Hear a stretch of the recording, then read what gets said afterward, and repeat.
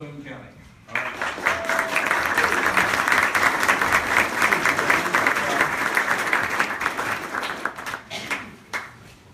If you can find your name.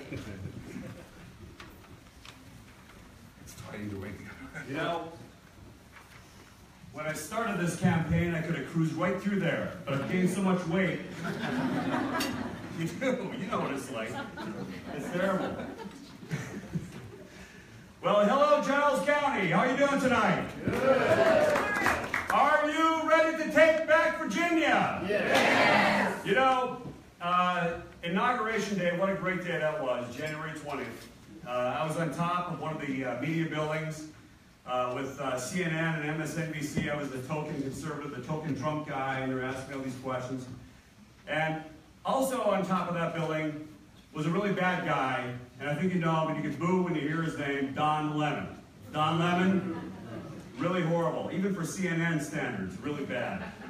So we are on, the top of the building, and as President Trump and his family is coming down Pennsylvania Avenue, and he's coming down, the crowds are cheering, and then there's some boos in the audience. Some boos in the audience. Don Lemon says, Oh, look, they're booing Donald Trump.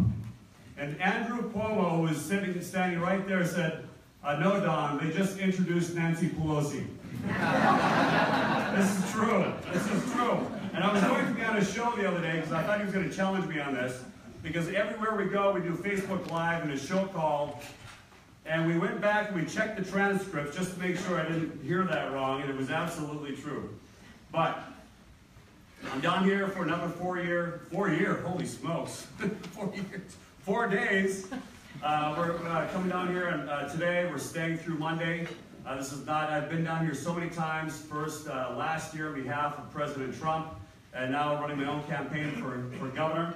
Uh, and on Monday, we're going to Hurley.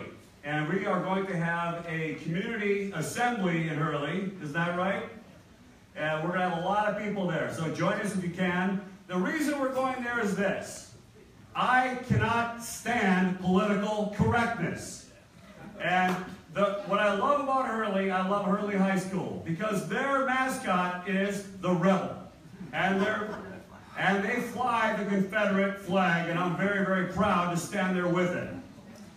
So a couple of weeks ago, a couple of weeks ago, uh, I went down to Charlottesville because the city of Charlottesville, I don't know how many of you heard about this, voted to remove the statue of a great Virginian, a great American hero, Robert E. Lee.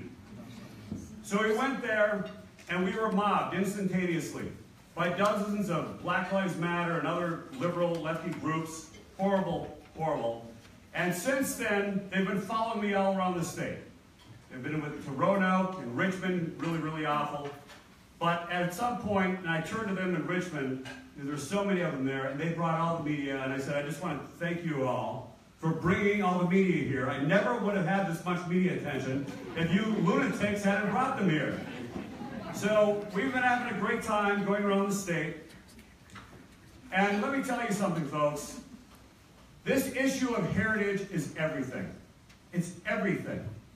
When you think of Virginia and when you travel around this country, you travel around the world, and people ask you where you're from, you say, I am from Virginia.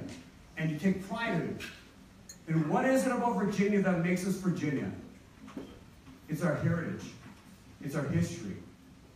It's Thomas Jefferson and George Washington and James Madison, but it's also Robert E. Lee and Stonewall Jackson. And we need to embrace it. And we need to be proud of it. Because if you think that they're going to stop with a statue of Robert E. Lee, you're wrong. Because the city of Charlottesville has already made it clear that when they're done removing the statue of Robert E. Lee, they're going to take down the statues of Thomas Jefferson. And if you think it stops in Charlottesville, it won't. It'll go to every other liberal locality in this state. And we've got a few of them. So that's why we've got to stand up, and I made this a pivotal point in my campaign. I'm not afraid of controversy. In 2007, I led what is considered the nation's toughest crackdown on illegal immigration. I did it in Prince William County. I'm elected countywide in Prince William County. My district is twice the size of a state senate district. I represent four hundred and fifty-four thousand residents. They direct, directly elect me as chairman of the board.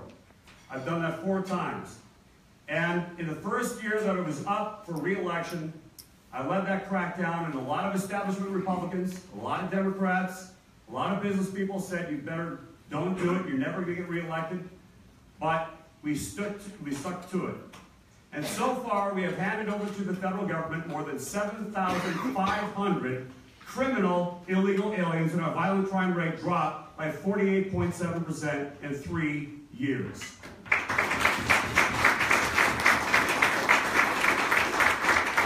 And that is what we have to do in Virginia.